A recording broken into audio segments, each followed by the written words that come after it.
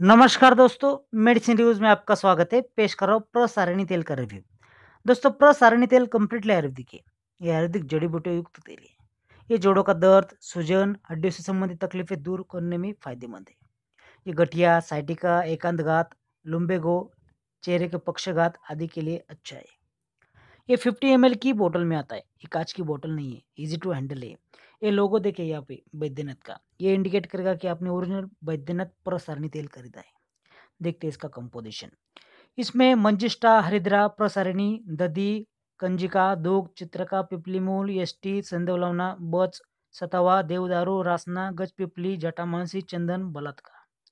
ये बहुत पावरफुल जड़ी बूटी युक्त तेल है।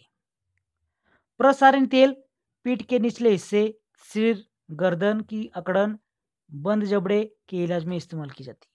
साइटिका, लंगड़ेपन, कुबड़ेपन, चेहरे के पक्षघात, नीचे के अंगों के पक्षघात के लिए उपयोगी है।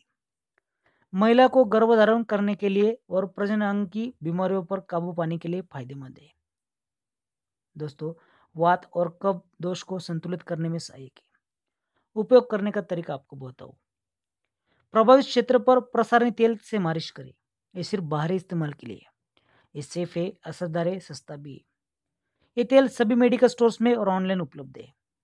दोस्तों, इसकी कीमत है सिर्फ़ hundred and twenty five rupees for fifty M अगर आपको वीडियो पसंद है तो चैनल को सब्सक्राइब करें, वीडियो को लाइक करें।